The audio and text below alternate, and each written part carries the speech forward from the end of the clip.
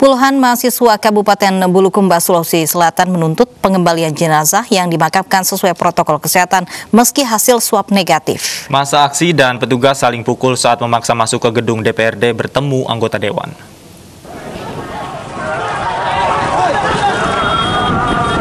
Kejar-kejaran mewarnai pembubaran paksa unjuk rasa puluhan mahasiswa asal Kabupaten Bulukumba di depan gedung DPRD Sulawesi Selatan, Jalan Urip Sumoharjo, Makassar.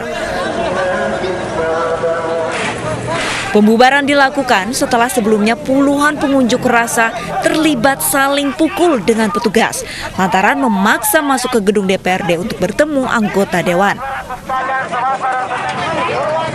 Akibatnya saling dorong hingga adu jotos pun tak terhindarkan lantaran mahasiswa mulai emosi saat dihalangi masuk ke dalam gedung.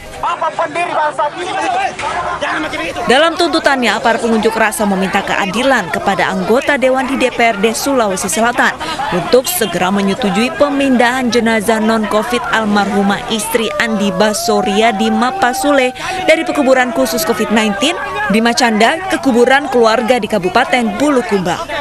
Dari Makassar, Sulawesi Selatan, Yoel Yusfin, iNews melaporkan. Pemerintah Kabupaten Tuban mengaku kecolongan terkait penyelenggaraan pesta dangdut digelar tanpa izin. Pesta dangdut digelar tanpa menerapkan protokol kesehatan dan berpotensi menyebabkan virus corona.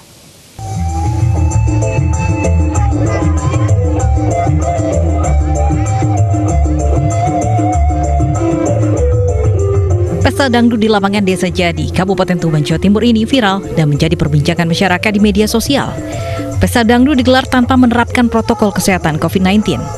Ribuan orang hadir memadati lokasi tanpa memakai masker dan menjaga jarak aman. Bahkan dalam video terlihat tiga pilar, kepala desa, babinsa, serta babin kaptimmas berjoget di atas panggung. Pemerintah Kabupaten Tuban menyayangkan digelarnya pesta dangdut di tengah pandemi. Sebab kini Tuban berstatus zona merah dan jumlah kasus persebaran COVID-19 terus meningkat setiap harinya ini pakai izin apa enggak saya enggak tahu. Tapi itu kejadian itu kita kecolongan dan juga itu ta, apa namanya itu orang bandelnya masyarakat kita. Pak, tapi pemkesnya itu di sana Pak sama Babinsa dan pengganti Mas di sana juga? Wah itu kalau itu berarti ada kekeliruan ada kesalahan. Kan ya. dari kecamatan Iya kalau sampai itu ada rekomendasi ya itu salah. Jadi Pemkap Tuban bersama Kodim 0811 dan Polres Tuban sedang mendalami pelanggaran protokol kesehatan dalam penyelenggaraan pesta dangdut tersebut. Pihak-pihak yang terbukti terlibat akan dikenakan sanksi sesuai peraturan. Dari Tuban, Jawa Timur, Pipit Wibawanto, iNews melaporkan. Pemirsa santri terkonfirmasi COVID-19 di Pondok Pesantren Darussalam, Blok Agung, Banyuwangi kembali bertambah. Hari ini santri yang positif COVID-19 bertambah 83 orang. Dengan bertambahnya 83 santri positif COVID-19, maka total angka yang terkonfirmasi kini mencapai 622 santri. Penambahan tersebut setelah petugas kembali melakukan swab test terhadap 150 santri yang dikarantina di dalam pesantren. Semua santri yang terkonfirmasi COVID-19 langsung dipindahkan di gedung isolasi milik Ponpes 200 meter dari Balai Pendidikan dan Pusat Belajar tempat karantina 5.000 santri.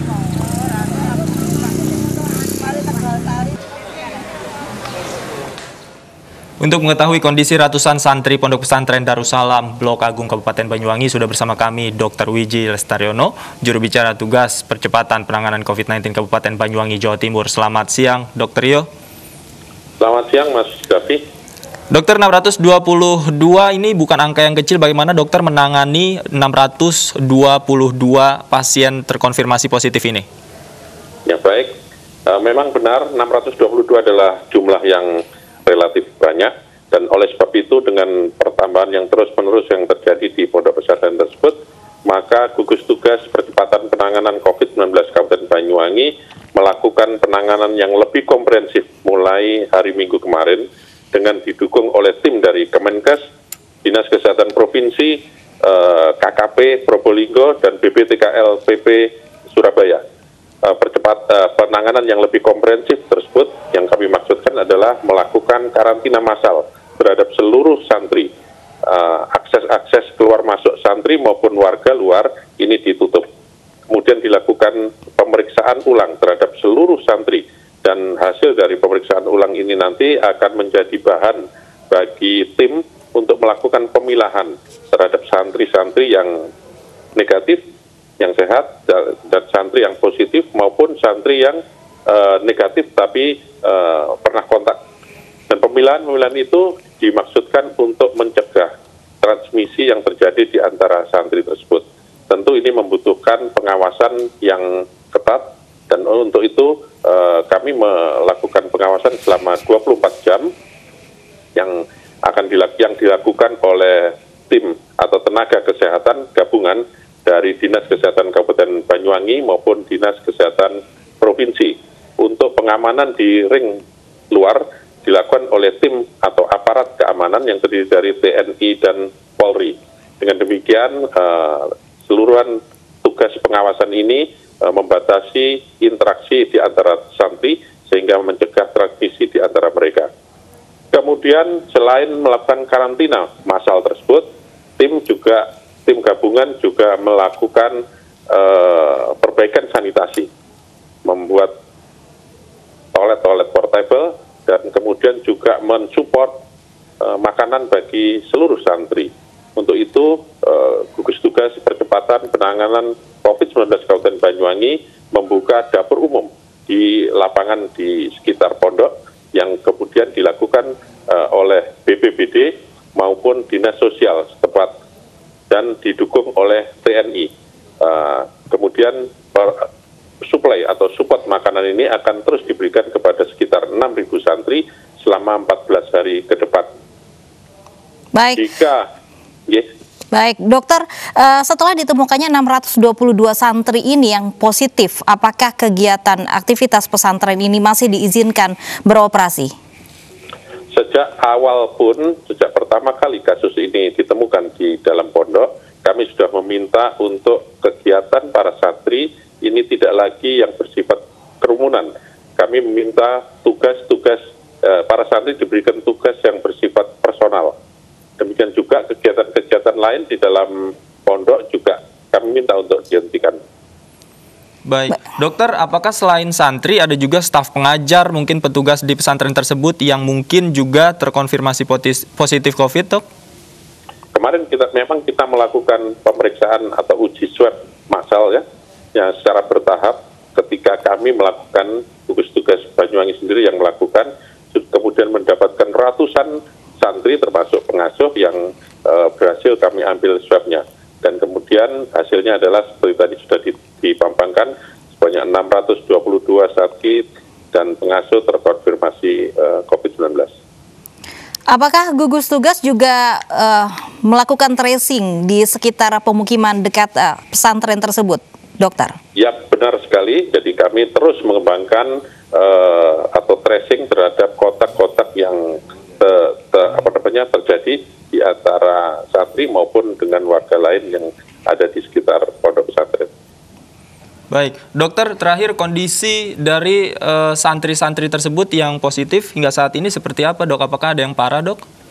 Alhamdulillah hampir semua santri adalah merupakan orang-orang dengan uh, tanpa gejala ya atau OTG ataupun dengan gejala yang ringan saja sehingga sesuai dengan pedoman penanganan COVID-19 revisi kelima terhadap orang-orang dengan gejala ringan atau tanpa gejala bisa dilakukan isolasi mandiri. Isolasi mandiri adalah isolasi yang dilakukan di rumah atau di tempat lain di luar rumah sakit. Sehingga waktu itu kami memutuskan isolasi terhadap para santri ini bisa dilakukan di lingkungan pondok pesantren sendiri. Baik, terima kasih Dr. Rio, juru bicara gugus tugas Kabupaten Banyuwangi, Jawa Timur sudah bergabung bersama kami di iNews Siang. Pemirsa memasuki hari ketiga pemberlakuan jam malam di Kota Bogor masih ditemukan warga yang melanggar aturan. Satuan Polisi Pamung Praja Kota Bogor terpaksa membubarkan kerumunan para remaja yang tengah merayakan ulang tahun di salah satu lapak dagangan.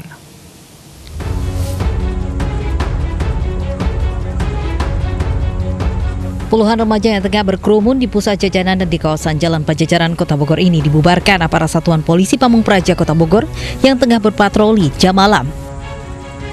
Tidak hanya warga, para pedagang yang masih membandel tetap berjualan melewati batas waktu yang ditentukan, ditegur dan diperingatkan aparat untuk segera menutup lapak dagangannya.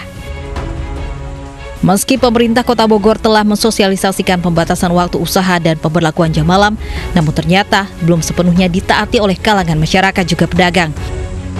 Pemkot Bogor menerapkan PSBB hingga 11 September mendatang. Hal itu karena kota Bogor masuk dalam zona merah penularan COVID-19. Dengan ini, jam operasional mal, kafe, dan restoran dibatasi pada pukul 18 waktu Indonesia Barat dan melarang masyarakat berkerumun di atas jam 9 malam. Dari Bogor, Jawa Barat, Furkon Munawar, iNews melaporkan. Satpol PP Kota Depok, Jawa Barat mensosialisasikan pembatasan aktivitas warga di malam hari. Petugas juga memberikan surat imbauan kepada pemilik usaha. Sekali lagi dihimbau kepada seluruh warga masyarakat Kota Depok dengan pengeras suara, petugas Satpol PP Kota Depok, Jawa Barat mengimbau warga soal pembatasan aktivitas warga di malam hari. Petugas juga mendatangi para pedagang untuk memberikan surat imbauan. Dalam sosialisasi hari pertama, ternyata masih banyak warga yang tidak tahu dan masih beraktivitas lebih dari pukul 8 malam. Ya gimana lagi ya Pak ya, saya berangkat kelima, keluar malam lagi. Jam Jadi, berapa keluar Pak? Baru habis maghrib bisa, baru keluar, baru mulai buka gitu loh Pak makanya sih bingung pertama aja cari lokasi untuk siang hari kalau gitu Pembatasan aktivitas warga di malam hari sebagai salah satu langkah menekan angka penyebaran COVID-19 di kota Depok yang terus meningkat. Ini kita upayakan agar masyarakat bisa mematuhi ketentuan atau kebijakan dari gugus tugas ini karena kaitan dengan peningkatan kasus-kasus uh, eh, COVID-19 kota Depok ini. Ini berapa? Sebelumnya, pemerintah kota Depok telah mengeluarkan edaran pemberlakuan jam malam untuk warga. Dalam edaran yang ditandatangani Wali Kota Depok tercantum aturan batas maksimal kegiatan niaga seperti toko, restoran, kafe, minimarket hingga mall hingga pukul 6 sore. Sementara aktivitas warga di luar rumah dibatasi hingga pukul 8 malam. Namun aturan ini tidak berlaku bagi warga yang memang harus pulang beraktivitas di atas batas jam malam. Sementara layanan antar atau delivery service dibatasi maksimal hingga pukul 9 malam. Pemerintah Depok tengah mengkaji langkah penindakan bagi pelanggar jam malam usai berakhirnya masa sosialisasi. Hingga saat ini kasus COVID-19 di kota Depok mencapai 2.000 kasus. Dari Depok, Jawa Barat, Iyung Rizky, iNews melaporkan. Pemerintah Kota Depok resmi memperlakukan pembatasan aktivitas warga di jam malam dan untuk mengetahui informasi selengkapnya sudah bersama kami ada Pak Dadang Wihana, juru bicara gugus tugas COVID-19 Kota Depok. Selamat siang Pak Dadang. Selamat Baik. siang Mbak Lebih ya. Pak Selamat Dadang, siang. ini apa yang mendasari Kota Depok ini memperlakukan adanya pembatasan jam malam?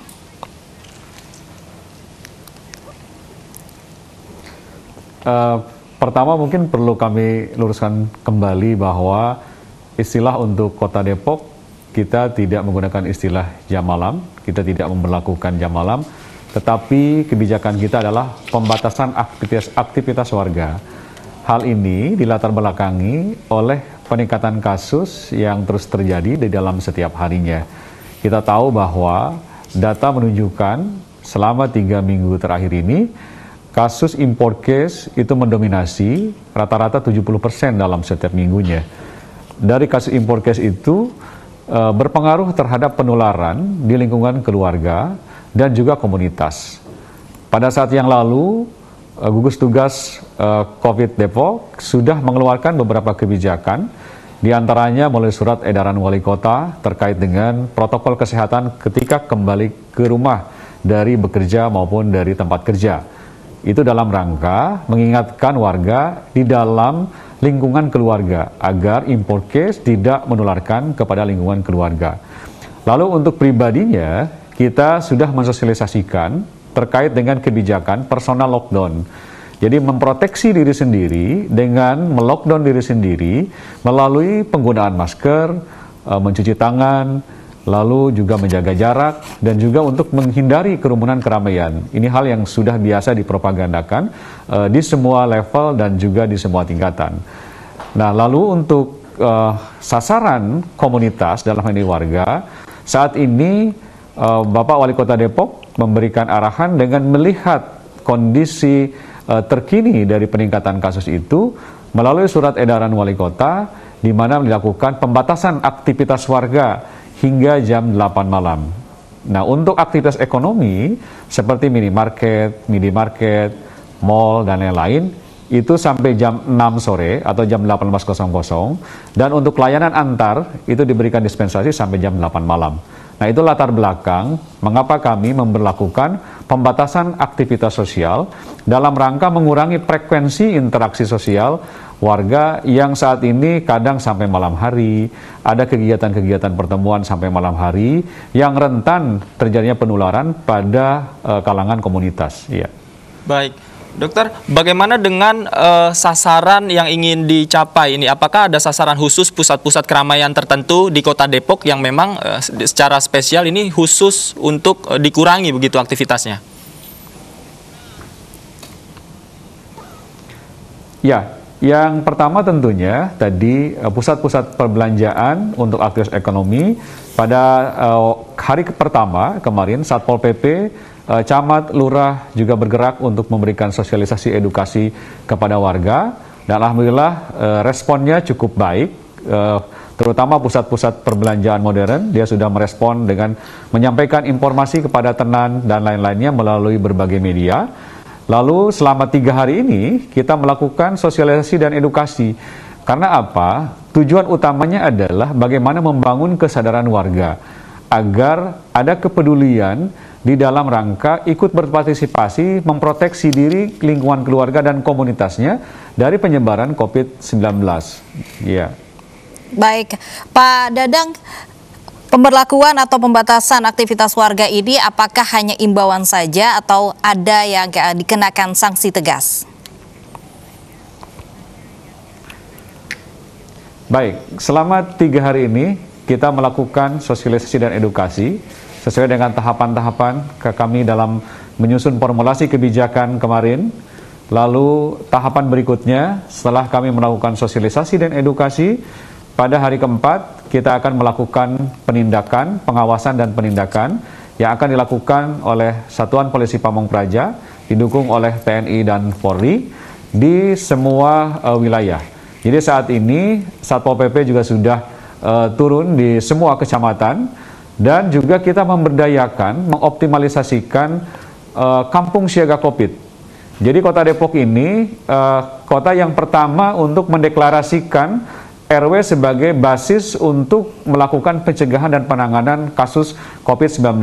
Jadi pada tanggal uh, 1 April kita sudah membentuk kampung siaga COVID sebanyak 925 kampung siaga COVID.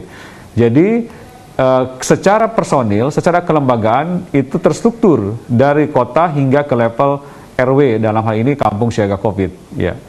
Baik, Pak Dadang terakhir singkat saja sampai kapan Pak pemberlakuan aktivitas ini dilakukan apa nantinya akan ada evaluasi juga Pak?